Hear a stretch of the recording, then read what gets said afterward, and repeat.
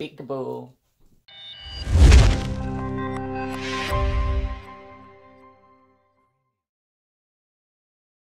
Hi guys, welcome back. I know it's been a minute since I posted a video, but I've been kind of busy playing my new game Kingdom Hearts and I'm in love with it. So I did a poll on my Instagram, Twitter, everything that I have, asking you guys what kind of video you wanted. And a lot of you said that you wanted a story time. So, story time. But before we get into that, I would like you guys to do me just a little favor, just, just a little favor. And go down below, hit that subscribe button, turn on my post notifications so you get notified whenever I make a new video. And go down and follow me on all my social medias that will be linked all down below. My vlog channel will also be linked down below. Go give that a follow as well. But here we are. Let's get into it. So when I got out of high school, I went to work at a company. It wasn't my first job, but it was my first legal job. You can read all about my book. Oh! My book will be linked down below as well. So I got this job from a family friend. Her name was Christina. Hmm. so I got this job from a family friend. Her name was Christina. Hmm. hey girl. Basically what the job was is we went to a school and cleaned it. I was not excited to do this mainly because I hate cleaning, but I was also excited because it was my first job and it was a full-time job. I was getting 40 hours a week, $9 an hour to start. I was 18, that was a lot of money to me at the time considering I went from nothing. So I get this job and on my very first day, I walk into the building I was cleaning, which was the middle school, mind you. This was the only middle school in the entire district.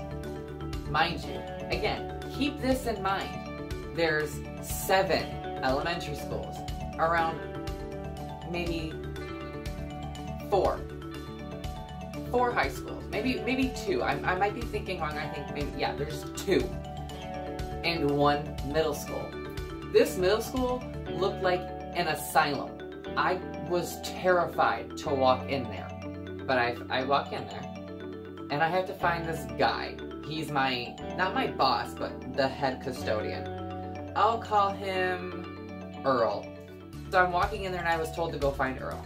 I'm looking around, I really can't find anybody to talk to. There's nobody in sight because this place is so fucking huge. I keep walking around and I'm walking around and I somehow end up in the basement. Mind you, this basement is two stories. So there's the third floor, the second floor, the first floor, and then basement levels one and two. I had gone all the way to basement level two. How? No idea. So while I'm down there, it's kind of like the cellar part. So like the walls are molded, everything's dripping, it's just disgusting. And I turn around and I see this figure and I get really scared because again, my first day, I don't know where I am. I haven't seen anyone yet. And I see this figure. Now, this is not meant to be racist. It's just what happened. We had a darker skinned guy that worked with us. And he was like darker than my soul. Dark. And all of a sudden he says, Are you lost? And I, I literally think a part of my soul left my body. I got so scared, I swear to God, I that shit hit the floor. I was, nope, I, I had accepted death in that moment that, yep, first day of work, I'm gonna get murdered. Go to work, they said. Be an adult, you said. And I'm here getting murdered my first day of work. So it turns out that his name was Frank. We'll call him Frank. So he, I asked him where I could find Earl.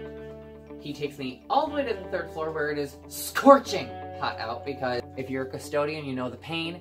They don't leave the AC on for you during the summer because it's a waste of money. Or so they say. Now, I already was kind of pissed because, again, I had a little bit of longer hair at the time. I mean, it wasn't this, but it was, you know, hot. Now, mind you, we're on the third floor. Heat rises, so the third floor is the hottest. So I find Earl, and I get introduced to Star and Comet, which were two custodians that worked there as well. I was shadowing them. So we worked for about half the day, and I worked from 3 p.m. to midnight. God, don't ever work second shift, it's horrible. So I worked from 3 p.m. to midnight, so around, eh, 7 o'clock, we take our lunch and Star and Comet had walked down the street to get food. Now, I'm stupid and did not bring food for myself because why would I need it? I'm basically sitting in the corner crying because I have no food and I'm starving. And I can't eat until I go home. So after we're done eating, they take me to this room upstairs and they just sit down. And I'm like, so are we done? And they're like, yeah, we're just gonna sit here, put our feet up, relax, and play on our phone. Fuck yeah, okay. I can get down with that shit. So I worked there for about three months. Then my boss, I'll call him Dick because that's very accurate, comes to me and says, hey, I'm gonna transfer you to the elementary school and the high school. He wanted me to do both. So I said, okay, well, which one is it, the elementary school the high school? And he's like, oh, it's both. I said, I think the fuck not, you trick ass bitch. And he's like, no, I'm dead serious. We want you to do a split shift. I'm like, okay, does anybody else in this company do a split shift? No, no one else does. So what the fuck makes me so damn special that I have to now clean two buildings by myself? I threatened to quit. It was a it was a time. So Christina had quit her job at GCA, which was this company's name. Apparently, her and Dick got into an argument. Oh my god, I'm gonna fall. Her and Dick got into an argument, and things got really heated fairly quickly. Oh dear. So I lost my right to work because I hadn't been driving yet. So my friend, Haley, her mom drove me to work for a week until I got my license. And then, you know, got my truck road legal and went to work. So I was only supposed to do the elementary school for half the day, and then once that was done, I would go and do the uh, high school, which was just a small little high school. It was like the high school board office. They used it for like the special needs education and the English as a second language and all that stuff. It was a really nice school. Well, I was scheduled to clean in the board office. I'm not going to talk much about the elementary school because nothing really happened there to the point where I was like, oh my god, I want to stab somebody. But the high school, oh my god. So I walk in there, and it turns out the woman training me for the high school, her name was Daniela. Just want to let you guys know I am changing all these names for privacy reasons. I don't want to get anybody in trouble or make them feel huh, less like a human. So Daniela's training me, and that is actually Star's mom and Comet's aunt, because Star and Comet were cousins. Confusing. So then I meet Sheila. Sheila was the head custodian at the high school that I was working at. And then there was another one, his name was Cliff. Cliff was just an old, he was cranky. He was, ooh, he did not like me. Because I made a deal with myself that, you know, I will treat you the way that you treat me. And for some reason, this company does not like to treat you well. So I tended to pop off whenever they said something I just did not care for. So anyway, we're a couple months in. Daniela leaves. She ended up breaking her leg by going down the stairs, but then she got ended up getting fired from the company because she broke her leg, and it was the company's fault. So I really don't know what happened with her. I hope she's doing well. If you're here, you know who you are. I love you, miss you. So right now it's just me, Sheila, and Cliff working in the high school. Now, it's Christmas time at this point. Ice, snow, winter. So basically what had happened is there was a death in the company. And it wasn't a boss. It was a employee. It, it didn't happen at work. I just want to say that it did not happen on the school property. It did not, repeat, did not happen on the school's property. But what did happen is Cliff ended up getting severe pneumonia and told Dick about it. Well, Dick ignored it and sent him out into the cold to shovel, salt, all that every day for a whole ass month. So when Christmas morning comes around, I get a call from Sheila asking if I had talked to Cliff. Now, mind you, she knows I don't like Cliff, and Cliff sure as hell does not like me. So why would I have talked to him? Well, as it turns out, Cliff unfortunately passed away on that Christmas morning from pneumonia. And as far as I know, this is what I've heard, don't take my word for it, the company got sued by his brother who also worked for the company. I do not blame him whatsoever for suing the shit out of that company. They deserved it, honestly, did. Once that is all done, I'm already getting kind of riled up because I've been written up for every fucking reason known to man. I have Crohn's disease. So I had to go and have a procedure done to test for Crohn's disease, and my boss knew about that. He knew I needed two days off. I went to him and said, I need two days off for my surgery to see what's going on with my intestines. He said, okay. So I go, I have the surgery. Now, I had called off that morning before I went under and said, hey, remember, I'm going under for surgery. I'm at the hospital right now. Goodbye. I go back to work the next day. Remember, I was not supposed to go back to work yet. I had to have stayed in bed for two days after this. It was just a colonoscopy, but still. I go back to work, and the fucker wrote me up for having my surgery because I missed a day of work. I had missed a couple of days because when my flare-ups get too bad, I can't really move out of, you know, the room. Or, you know, if it snowed too bad. This place was an hour away. Like, fucking be grateful. I'm driving an hour away to come fucking clean for you and you're gonna treat me like shit? Fuck you. Besides of that fun shit, there was also drama between the elementary school's lead, her name was Alex, and there was drama between Sheila. The two used to be friends, did not get along, and then Sheila's over here, Alex is over here, and I'm dead ass in the middle because they love to talk shit about each other to me. And I have to hear all of it. Now, mind you, this bitch likes some good tea, but at the same time, like, please shut up. Like, I'm tired of hearing it. I'm really here to vacuum and sweep and mop and clean. Like, shut up. I was tired of hearing about it every other fucking day. It was long days. No matter what I did, like, okay, I'm gonna tell you. One thing that really pissed me the fuck off about this company is I worked my ass off for them. It wasn't ever good enough. I would sit there and bust my ass to the point where I was just drenched in sweat and everything, and then Dick comes to me, the teachers are complaining because this wasn't done, this wasn't done, this wasn't done, this wasn't done. Why don't you look at your security cameras and then you'll see that yes, the fuck it was done. I really don't think it was the teachers so much as it was Sheila, because I didn't hear this directly from Dick. Sheila would tell me, hey, this is what Dick said, you know, you have to work on that. There was an actual time, and it was a true thing. It wasn't just Sheila pulling my leg, it wasn't Dick being a dick.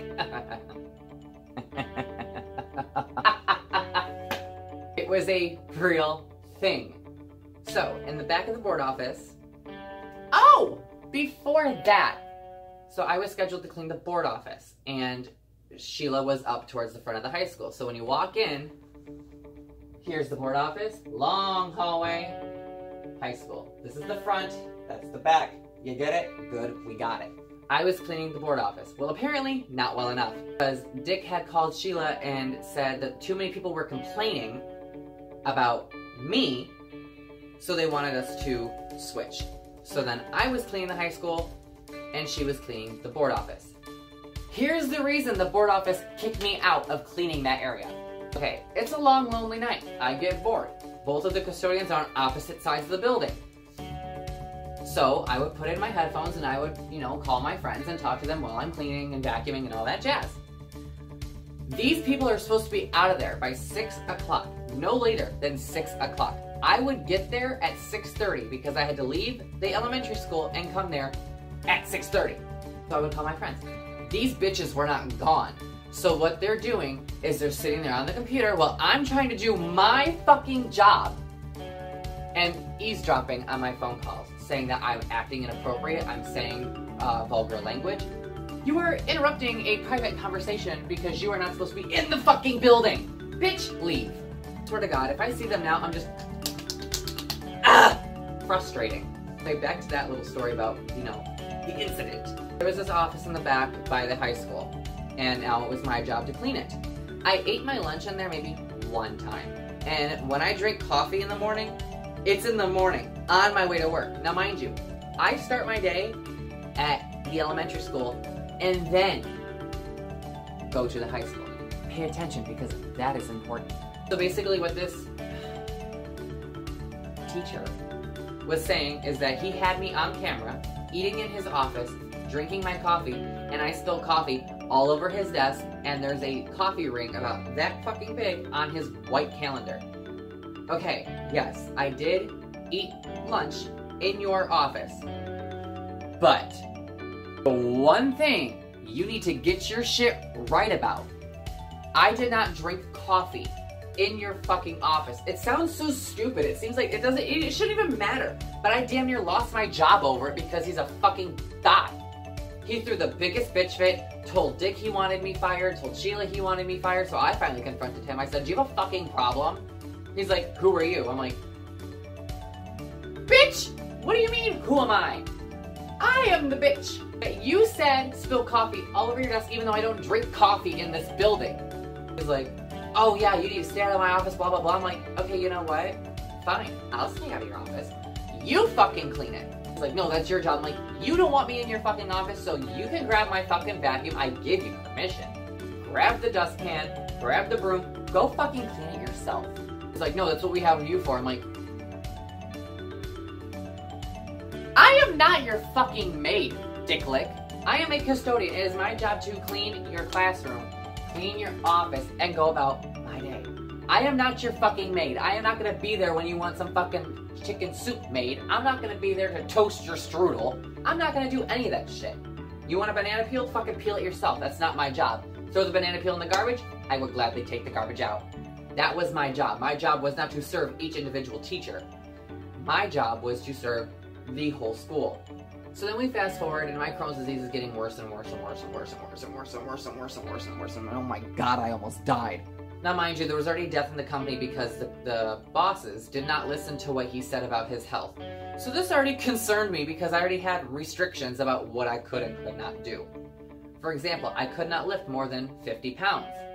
They were having me lift 80 pounds a day. I couldn't. It was to the point where I tried lifting the 80 pounds and a stack of books fell right on my head. That shit hurt. I never hated something so much that I actually went home every night and cried about it. I didn't even do that with high school and I hated high school.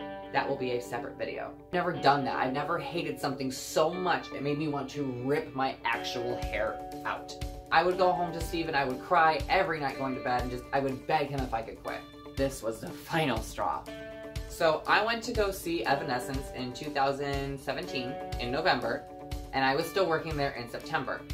I requested November 30th, December 1st and 2nd off. So that way I had time to go to Chicago and enjoy it because as far as I knew, they weren't coming to De to uh, Detroit. Later on, they did. Which makes me think like, would I, would I have stayed at that job if Evanescence came to Detroit? Because the whole reason I took that time off and the whole reason this exploded the way it did was because I wanted to go to Chicago. So anyway, I, you have to fill out a vacation request. So I filled out my vacation request and I gave it to Dick.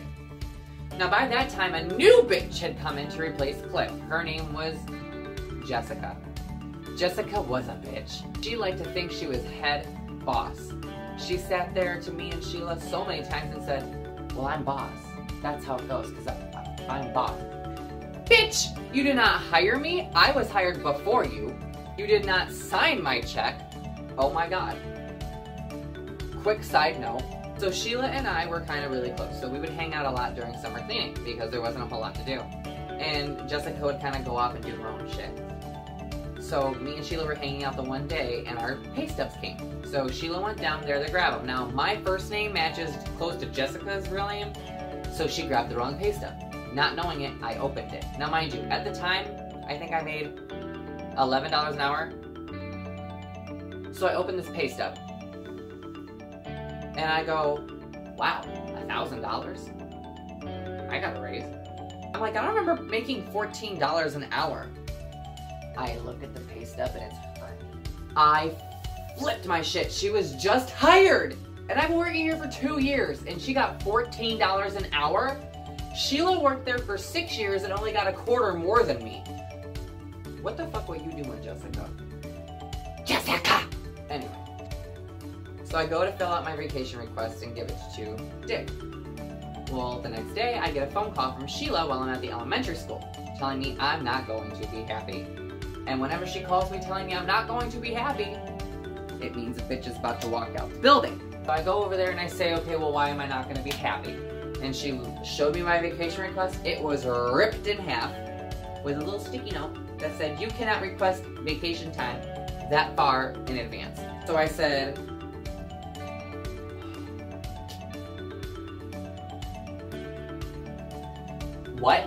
I'm giving you three months notice. That is fucking amazing that I'm planning that far ahead because I never do. So I call him and I said, hey, what's this about me not being able to request it that far in advance? Like, it's, it's a good thing. And he's like, oh, well, it's not just that. It's Jessica already requested that time off. I'm like, hold on.